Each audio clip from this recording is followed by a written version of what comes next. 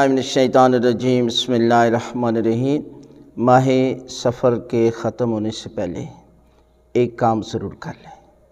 वो काम क्या है कि इमाम की खिदमत में एक शख्स गया, हज करके वापस आया और अर्ज़ करता है कि, मौला, मुझे कैसे पता चले कि मेरा हज कबूल है या कबूल नहीं है?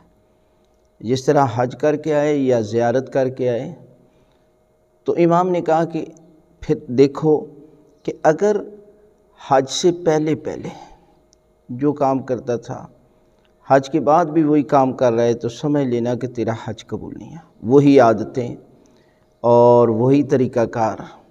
और अगर हज करने के बाद अपने अंदर नमाज़, रोज़ा का पाबंद खौफ खुदा और तोबा और ये बाकी भी मामलात में तू जो है वो हर मामले में अल्लाह और अल्लाह के रसूल के हुक्म को तरजीह देता है तो समझ लेना कि तेरा हज कबूल है।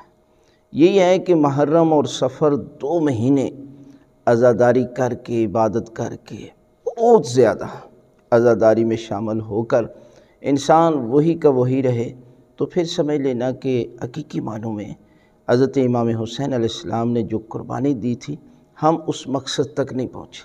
लिहाजा सच्चे दिल के साथ जो है वो मुहर्रम के ख़त्म होने से पहले, सफ़र के ख़त्म होने से पहले, यानी हर महीने की, और बिलखसूस आखिरी दिन है।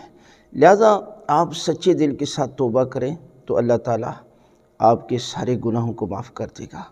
और आपको जिस तरह हुर ने तोबा की थी, इसी तरह आप तोबा करें तो खालिक की नात आपके तमाम गुनाहों को माफ़ कर देगा।